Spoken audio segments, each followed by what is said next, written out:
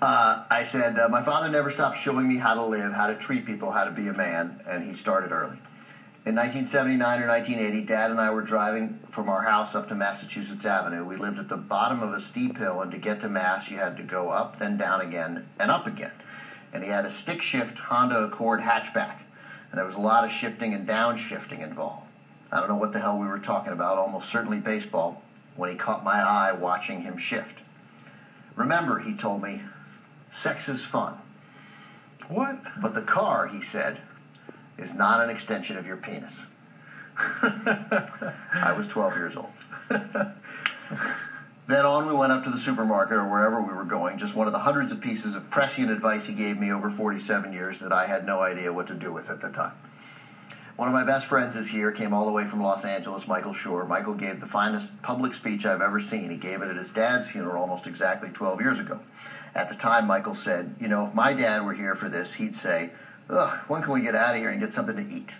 Mm-hmm. Well, if my dad were here, he would not want to leave. Pop would have loved every eulogy, every appreciation, every Frank Mankiewicz story being told here today. He would even have loved the inaccuracies in his obits. The Washington Post did a fine job, really, of capturing the complete essence of my father, but they had one line in there that couldn't have been more wrong. In a city where the politically ambitious often let power brokers have the last laugh, the Post wrote, Frank the Mank, as friends dubbed him, was comfortable one upping.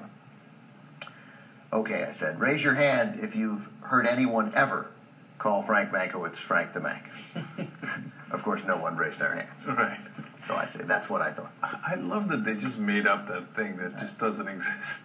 What Some a weird po- thing to make up. Some poser pretended to know my dad better That's to what the guy. was. Some right. D, you know, and, pret- and and and whatever. A good a good reporter, Adam Bernstein, wrote a good obit, but he bought that one. Right. I also love how every obit has referred to his son Ben, me, Mm-hmm. as a host for the cable channel Turner Classic Movies. Cable. Yeah, I get it. My brother's on NBC and I'm not. it's like the New York Times wants to remind me, "Hey, sorry your dad died. Also, you're on basic cable." Anyway, whatever you called my dad, and I'm pretty sure most of you went with Frank, the void he has left is vast. First in the greater Mankiewicz family, for Patricia, for me, and for Josh, for my wife Lee, my daughter, for Patricia's four daughters and their eight grandchildren, for my friend Dan, for John Mankiewicz and his family, for the families of Tim and Nick Davis, for John Fox's family, for Peter Davis, for Don Mankiewicz, for all of us. But it's more than a family affair. Frank the Mank, I know, right? Was the backbone of so many gatherings of friends the Hamiltons and Handwerkers, the Joyce group he led, the James Joyce group he led, the extended NPR family, the greater Hill and Knowlton family, the Sunday softball family. My dad's loss is reverberating, it's being powerfully felt, even at age 90, by so many in so many different communities. It feels like a mafia don's death if the mafia's trade weren't violence, intimidation, and corruption, but wit, reasoned thinking, and a good tongue sandwich. I'm just kidding. There's no such thing as a good tongue sandwich. I swear to God, I almost interrupted you to say that. You can interrupt any time. Okay. You guys are free to laugh. Okay. Um, the, uh, right. See, did your dad actually eat tongue sandwiches? all the time. That's his one failing. One family. That's right. Yeah. Uh, I, I- to be fair, I think I once ate it when I was eight or something, but I couldn't get to past that it was a tongue. My And- dad believes that I liked it, and then my mom showed it to me, showed them cutting it, because you know what it looks like. a tongue. A tongue. It, need, it just needs Frank Luntz. It just needs to be rebranded. right, right, right. you know, call it something else. Yeah. I, I'm gonna I'm gonna pray on that. Yeah. Um, I don't have any idea how that void, that awesome emptiness, can be filled. My hunch is that it can't. But I know I, and all of us, can survive it and thrive because my father did. At age 20, he was through basic training and in Europe fighting the Nazis in the Ardennes forest, nearly losing his toes to frostbite, driving a Jeep and praying a German shell would hit the road to give him enough brief light to keep him from driving off a cliff in the blackness of a night. He saw friends alive one instant and dead the next, but he survived and thrived. He met my mom, Holly, and they had one great kid, and also my brother, Josh. he went to journalism school at Columbia Law School at Berkeley, and then became an entertainment lawyer representing actors, Jay Silverheels, James Mason, and Steve McQueen among them, and he survived that too and thrived, joining the Kennedy administration, becoming Latin American director of the Peace Corps. That led to probably his most fulfilling job as Bobby Kennedy's press secretary, and eventually to that awful night in Los Angeles. But again, after the loss of a man who was not only his idol but his friend, he survived and thrived. Eventually, working for another man he admired, George McGovern, taking a campaign with no business even being in the race and turning it into the Democratic nominee for president.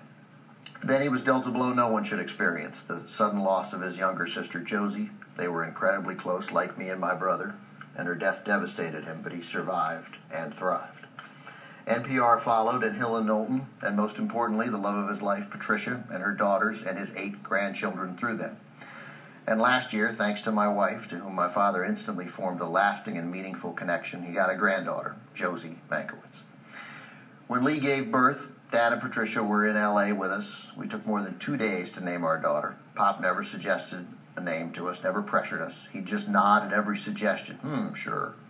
Then when I came home from the I hospital, can see him doing that. when I came home from the hospital on night three, I told Dad we had a name. It's Josie, I said. He instantly started to cry, pumped his fist, and said, as only Dad did, Ha ha! I'm so pleased he met Josie, so happy he got to see me with Lee, with a family.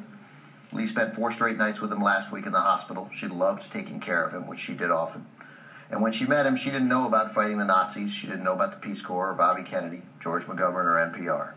She just knew this sweet, funny, kind, big hearted man who loved her instantly and clearly wanted his son to marry this girl quickly.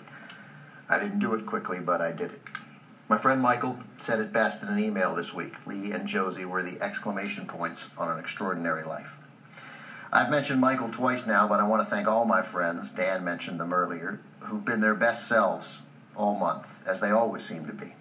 Three of them, Mike Roseman, Michael, and Eric Smolson, have lost their dads, giant men in their lives, and each has demonstrated an enviable ability to persevere, to be good friends, good men, good fathers. I will try to follow their lead.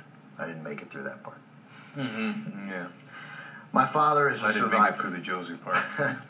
My father is a survivor. If he could thrive as he did, if he could find joy and peace and happiness in life, then I can, whether that void gets filled or not. My dad was always curious, and now I'm curious, as I know so many of you are, what it will be like not calling him with a grammar question, with an observation on UCLA basketball, or the Cardinals, his team, or the A's, mine, or with an encouraging new poll about the Colorado Senate race. And by the way, there are no encouraging polls out of Colorado. It will be different, it will be sad, but it will be manageable because he showed me it can be. He also showed me that he was right. The car is not an extension of the penis. Because if it were, I wouldn't be here today. I'd be out on the open road driving a Hummer. That's how you ended it. That's how I ended it. No,